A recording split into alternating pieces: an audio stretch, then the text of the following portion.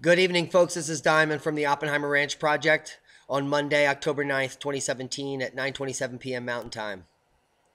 I just did a seismic update, and right after I published it, I noticed an earthquake pop off here at Mount Hood in the red at 2.7. And then I zoomed in, and what you're looking at is a flurry of activity on Mount Hood that occurred in the last five hours.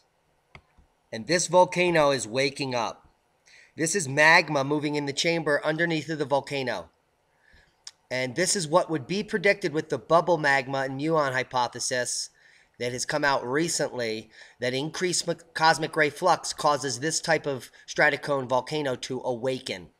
And that's exactly what we're looking at a, a dangerous pyroclastic flow type volcano that could be preparing to erupt and maybe one of the first in Cascadia to erupt as we descend into the grand solar minimum. So a heads up on Mount Hood. She's coming awake. There has been a flurry of activity underneath of this volcano in the last five hours. I'll leave you links to the Wikipedia and a little bit about Mount Hood history. We'll go over it as it relates to the sun. Mount Hood's last major eruption happened in 1790. That was during the downward phase into the Dalton minimum here. A deep cosmic ray flux occurred to the same exact spot we're on now, folks, in the similar situation. Last time it erupted violently in 1790 not long before Lewis and Clark came here. It also erupted in the mid 1800s in the uh, during the Gleissberg minimum. Probably here in this low 1850s. Yeah, right in here in this minimum. And prior to that, it had a major volcanic eruptive behavior 1500 years ago that was catastrophic. And if you go back 1500 years, it's going down into this grand solar minimum.